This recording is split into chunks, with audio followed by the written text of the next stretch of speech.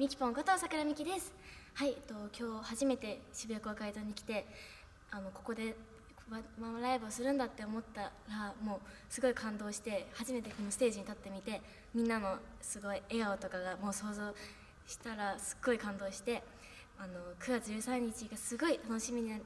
不安があるんですけど本当に埋まるのかなっていう不安はあるんですけどでもドーラーさんとラブダルなら絶対に素晴らしい一日になるなと思いました。はいえっと楽しみになりました。はい。えっと9月13日は絶対に最高な一日にするので皆さんぜひ遊びに来てください。待ってます。